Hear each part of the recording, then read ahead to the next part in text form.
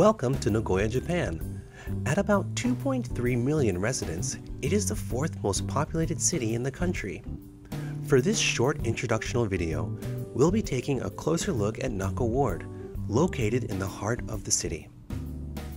As an urban community, you'll find this part of Nagoya bustling with people on their commute to work during the week, while enjoying the many shopping areas, museums, and art galleries on the weekend. Whether you choose to get around by bicycle, car, or bus, navigating the city is surprisingly easy and stress free.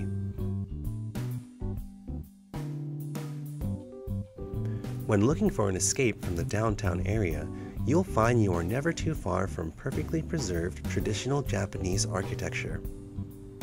Here we find Osu Kannon, which was originally built in 1333 and moved to its current location almost 400 years ago. Adjacent to the temple is a long stretch of covered shopping arcades.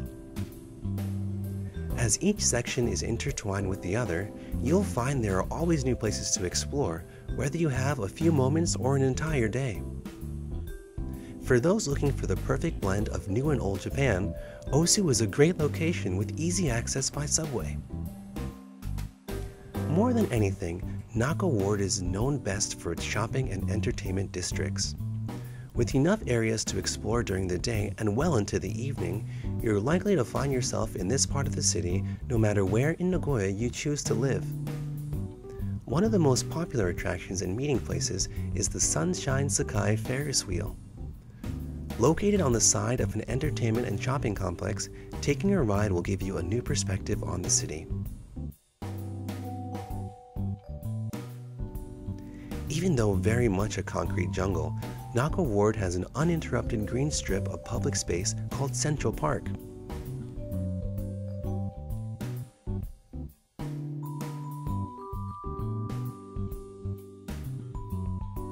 Towering in the center of the park area is the Nagoya Television Tower.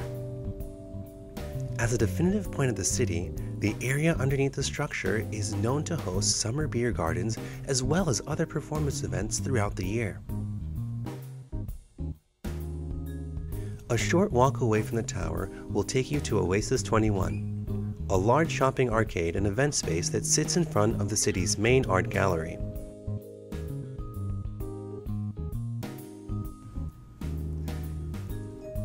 At the subfloor of the structure, you'll find a variety of shops and restaurants that serve everything from coffee to ramen.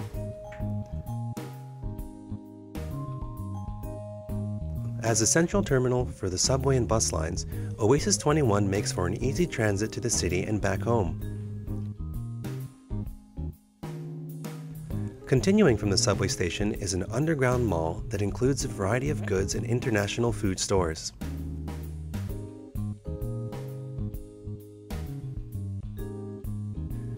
As you make your way through the passages to the center, you'll find the Crystal Fountain, another popular meeting spot. Back on ground level, it's only a matter of time before you find the Science Museum. Here, wedged between two main buildings, you'll find the world's largest planetarium open to the public. With a large park in front of the building, the Science Center is a great day trip to make during the weekends.